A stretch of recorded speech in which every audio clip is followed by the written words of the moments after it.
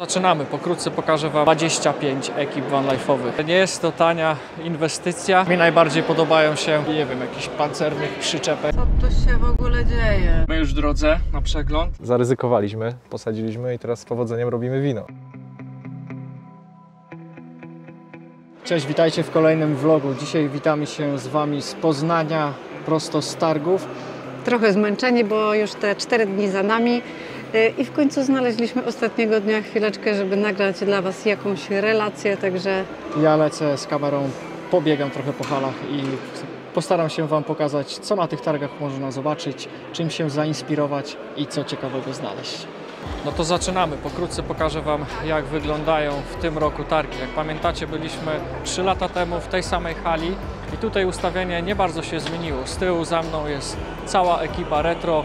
Możemy tutaj popodziwiać piękne, stare auta, popodglądać, jak kiedyś ludzie podróżowali w latach 80., a nawet 70. Wszystko pod wodzą Grzesia z ekipy Campermajstrów. Super to wszystko wygląda. Można sobie tutaj pooglądać e, cudowne, stare maszyny. Powoli wkraczamy w strefę vanlifersów. Za mną kampermaniacy. Cały czas ktoś tam u nich się kręci. A tutaj kapitan przyczepa i resztę ekip. E, W tym roku, słuchajcie, jestem pod wrażeniem. E, Pamiętam, jak byliśmy tutaj 3 lata temu, to było tylko 7 vanów. Dzisiaj jest 25 ekip vanlife'owych. Niesamowite inspiracje, każdy ma inny gust, każdy inaczej wszystko wykonał w swoim wanie. E, Każdy podróżuje na swój sposób. Także naprawdę e, bardzo dużo ludzi inspiruje się, przychodzi tutaj i podgląda, jak my tutaj żyjemy, jak podróżujemy, e, jak funkcjonujemy w ogóle na tej małej powierzchni. Bardzo inspirujące rozmowy. Dzięki za wszystkie.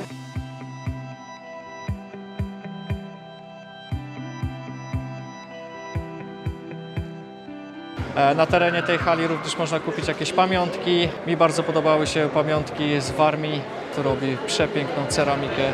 Sam ręcznie to maluje, byłem pod wrażeniem. Oczywiście jak już są inspiracje, to teraz trzeba przejść do zakupów i właśnie na, na tych targach możemy dokonać zakupu nowych sprzętów. Powiem Wam szczerze, że nie jest to tania inwestycja, ale auta robią wrażenie.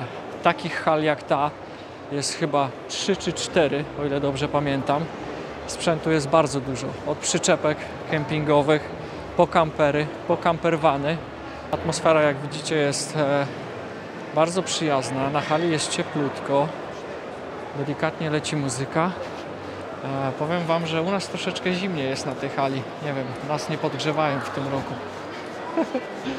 Teraz mijam auta, na które trzeba przeznaczyć ponad milion złotych. Ja szczerze bałbym się w ogóle tym wyjechać na ulicę. Jakbym wydał tyle pieniędzy, teraz sobie wyobraźcie jakaś przycierka, no na przykład tutaj półtorej miliona złotych, Mercedes. Niesamowite po prostu. Ile to niektórzy ludzie mają pieniędzy. A zobaczcie, w tym kamperze możemy zmieścić Fiata 500. Jest bardzo obszerny bagażnik. Niesamowite po prostu. Na kolejnej hali totalne zaskoczenie. Auta zrobione specjalnie dla klientów pod ich specjalne zamówienie, czyli tak zwane auta kostiumowe. E, nie są one fabrycznie robione. Każdy klient może sobie wybrać środek, materiały, e, cały projekt na swojego campervana e, i naprawdę te auta są mega piękne. Mi najbardziej podobają się kampery wykonane przez Avantura Campers. Mieliśmy okazję prywatnie zapoznać Huberta i Amandę i po prostu jak oni się rozwinęli, to się w głowie nie mieści. Jestem pełen podziwu. Gratulacje, słuchajcie.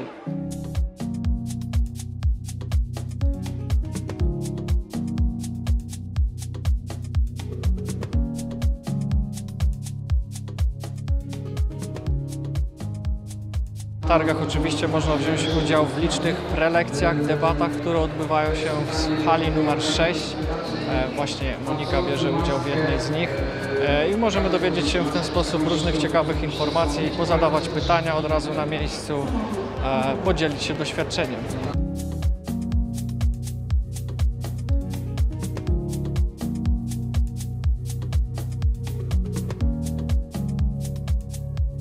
Oczywiście na targach fani offroadu znajdą coś dla siebie. W tym roku w hali numer 8 e, są ekspozycje aut 4x4 e, i różnych ciekawych sposobów na podróżowanie takimi właśnie autami. Jak widzicie, możemy używać, nie wiem, jakichś pancernych przyczepek ala kempingowych. E, Dużo jest ekspozycji różnego rodzaju namiotów dachowych. Mi najbardziej się podoba opcja podróżowania 4x4 z kabiną na pick-upie. E, Wydaje mi się, że to jest super rozwiązanie, jeżeli ktoś e, lubi sobie poszaleć po bezdrożach, bo możemy takową kabinę zostawić na boku, na takich nogach specjalnych i samym autem poszaleć po górach. Także to jest naprawdę świetne rozwiązanie.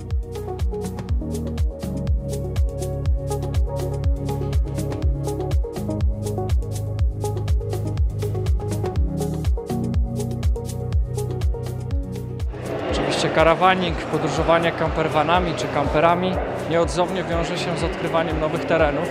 I tak oto na hali 8a możemy zapoznać się z różnymi regionalnymi zakątkami Polski, poodkrywać e, ciekawostki w danych regionach i poplanować, co zwiedzać w danym regionie. Niesamowite miejsce, będę je wszystkim zawsze polecał. Oczywiście na targach możemy zapoznać się z nowymi nowinkami technicznymi w zakresie budowy campervanów. Wydaje mi się, że jest to miejsce, które warto odwiedzić, e, ponieważ możemy dzięki temu być na czasie, co się dzieje, co się zmienia w ogóle w e, całej technologii wykonywania campervanów, jakie są nowe zabezpieczenia, e, jakie są nowe urządzenia do podgrzewania campervanów, jakie nowe technologie do podgrzewania wody, jakie są nowe toalety, bagażniki. Słuchajcie, jest tego tutaj naprawdę bardzo dużo.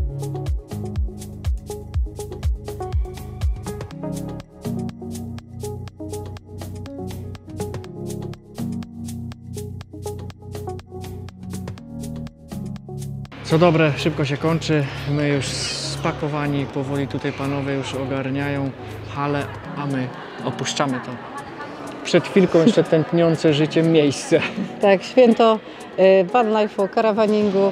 Chcieliśmy podziękować wszystkim, którzy nas odwiedzili. Y, Jesteśmy Wam bardzo wdzięczni za te wszystkie, wszystkie pozytywne, miłe słowa. Y, No po prostu jesteśmy naładowani energią, Ojejku, wyczerpani fizycznie, ale psychicznie po prostu. No, nawet nie wiecie, jak nam pomogliście, bo mieliśmy troszeczkę doła, a teraz już jesteśmy pełni, zwarci, gotowi na nową podróż, e, żeby dalej dla was, dla was nagrywać. E, No i dzięki jeszcze raz za wszystko. Naprawdę mega, mega dzięki wielkie. No i ruszamy. Ruszamy w podróż. A gdzie?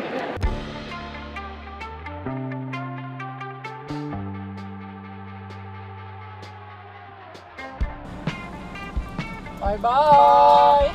Hej!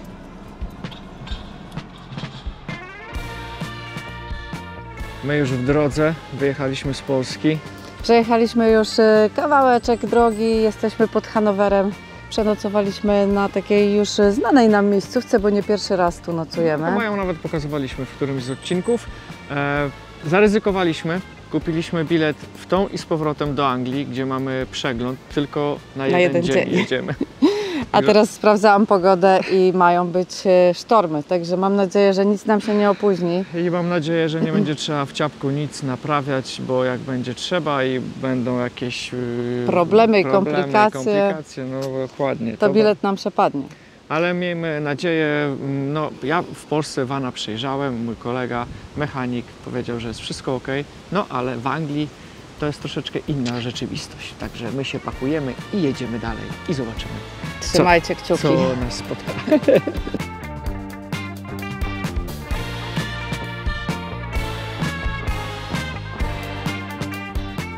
Co tu się w ogóle dzieje? Nie wiem sam po prostu. Chyba nasze europejskie drogi już są delikatnie przeciążone tym całym transportem. No i chyba ludzkim konsumpcjonizmem. Chyba Paweł Ci nie zabraknie pracy jako kierowcy, co? Widząc tą ilość ciężarówek. Nie, zastanawiam się, czy jest sens w ogóle aż jechać do Anglii do tej roboty. Chyba będzie następny kierunek Holandia albo Niemcy. No niemieckie drogi są bardzo przeciążone. Nie wiem, czy to taki dzień po prostu, czy...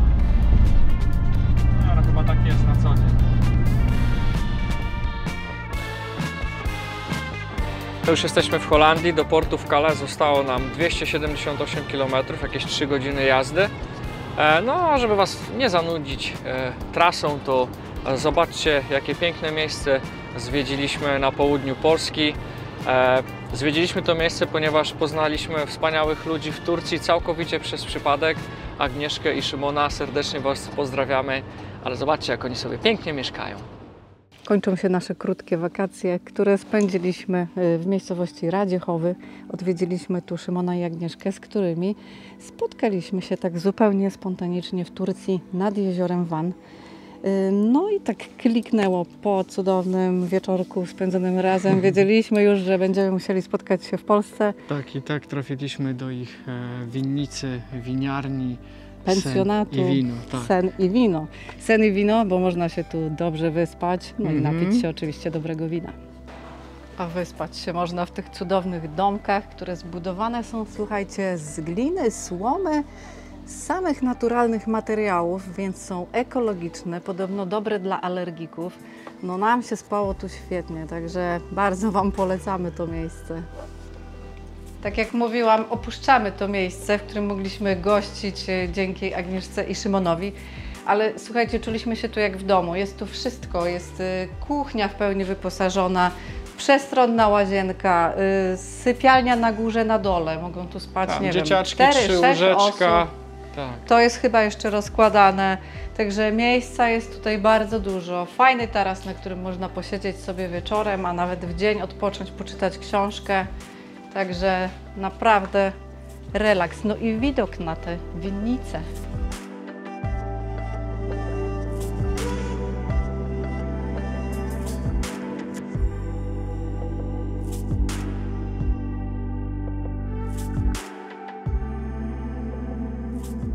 Jest tak cichutko i spokojnie, ale miłośnicy luksusu też nie będą się nudzić. Jest basen, sauna, jacuzzi, a śniadanka, które przygotowuje Magda, to jest po prostu niebo w gębie. Było o spokojnym śnie, teraz pokażemy Wam skąd się bierze wino. Przejdziemy się do winnicy, ale po drodze jeszcze mijamy to cudowne miejsce, w którym siedzieliśmy sobie przy ognisku. Także wszystko, tu jest każdy szczegół, każdy detal. Szymon z Agnieszką tu po prostu pomyśleli o wszystkim. Tędy? Tędy chyba, tak? Mhm.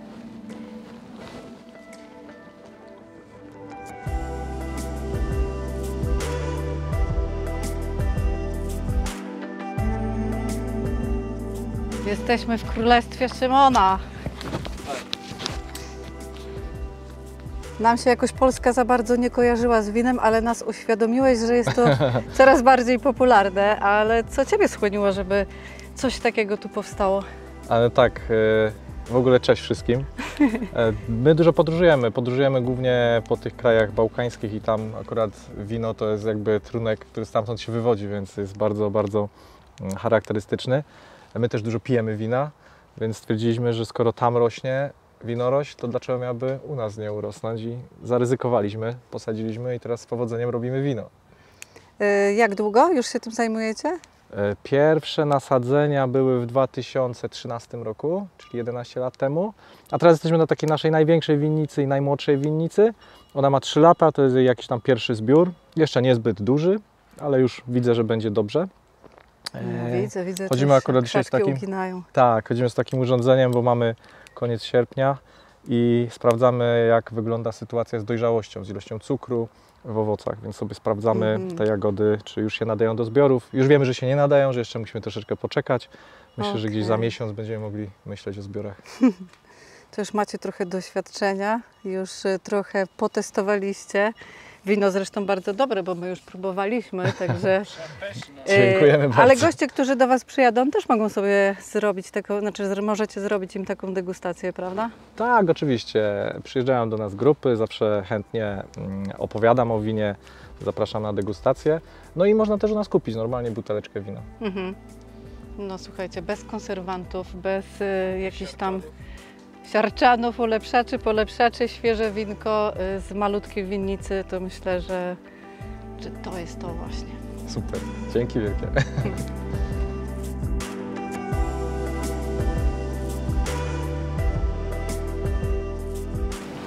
tym miejscu właśnie odbywają się degustacje wina. Można tutaj również zjeść śniadanko, wypić pyszną kawę.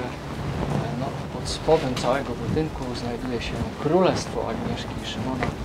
Jest tam piwniczka, gdzie składowane jest wino. Ale tego Wam nie pokażemy. Jak ktoś będzie miał ochotę tutaj przyjechać i zapoznać trochę e, bardziej tą historię winiarstwa, to na pewno Was zapraszamy.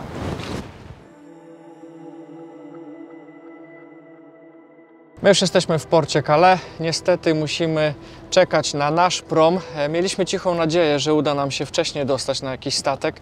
No a teraz mamy 2,5 godziny dla siebie. Także idziemy się teraz ogarnąć. No, e, ciekaw jestem, gdzie będziemy dzisiaj nocowali, ale mam nadzieję, że w Dover znajdziemy niedaleko warsztatu jakąś fajną miejscówkę. Dobra, Monia, idziemy odpocząć trochę, nie?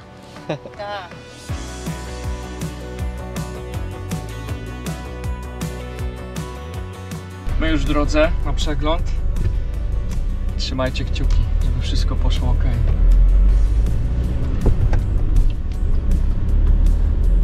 Angielska architektura zawsze będzie mnie zastanawiała. Ojejku. Cudowna, stęskniłam się za nią.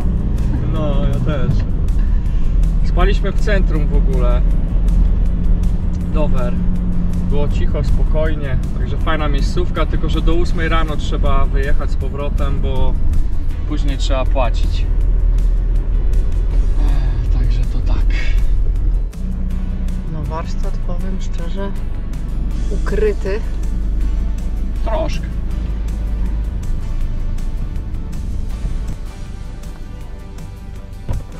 Mamy to.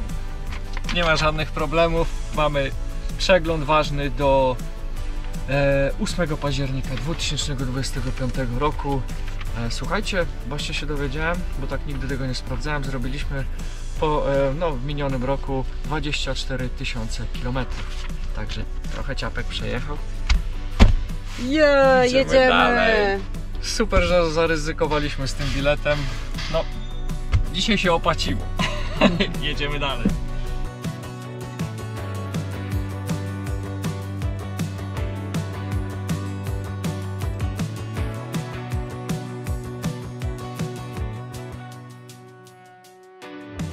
Słuchajcie, jesteśmy już we Francji. Udało nam się wcześniej wyjechać.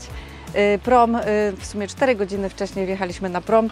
Kosztował 130 funtów, jakby kogoś to interesowało. Paweł już tam y, kroi grzybka do jajecznicy, którego Tak, znaleźliśmy, znaleźliśmy go w Polsce, w lesie, Polsce, na no. spacerku. Także prawdziwek zaraz będzie w sosie maślanym, e, do tego jajecznica. Musimy się trochę pożywić, bo chcemy pojechać jeszcze kilka kilometrów dzisiaj. E, No, a my będziemy się żegnali powoli. E, Będziemy pędzili do Hiszpanii. Tak, do jednego z miast, do jednego z hiszpańskich miast, bo tam chcemy zrobić komuś niespodziankę. No ale komu i dlaczego tam tak pędzimy, to się wszystko okaże w następnym odcinku. No, także żegnamy się z Wami. Y, Zostawcie jakiś komentarz, dajcie łapkę w górę. Y, No i widzimy się za tydzień. Trzymajcie się. Trzymajcie się, miłego wieczorku. Hej! Hej! Popo, popo, popatrz i popatrzeć, zobaczcie co się dzieje. A zobaczcie w tym miejscu, a zobaczcie w tym kamperze. Kupiliśmy również na następny dzień, dzień powrotny. Raz, dwa, raz, dwa. Dobra.